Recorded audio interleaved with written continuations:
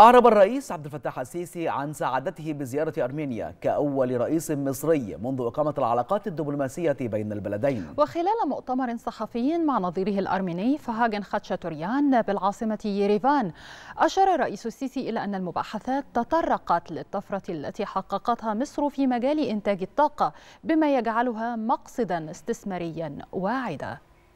وقد تم التطرق خلال المباحثات إلى الطفرة التي حققتها مصر في مجال إنتاج الطاقة وذلك ليس فقط اتصالا بمجال الغاز ولكن أيضا ارتباطا بإطلاق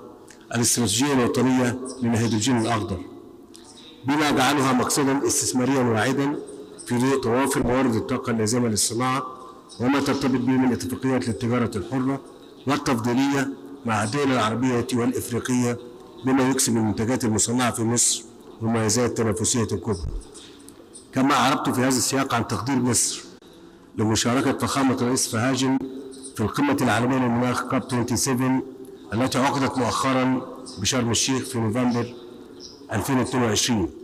والتي عكست مدى الاهتمام الذي توليه أرمينيا لقضية المناخ.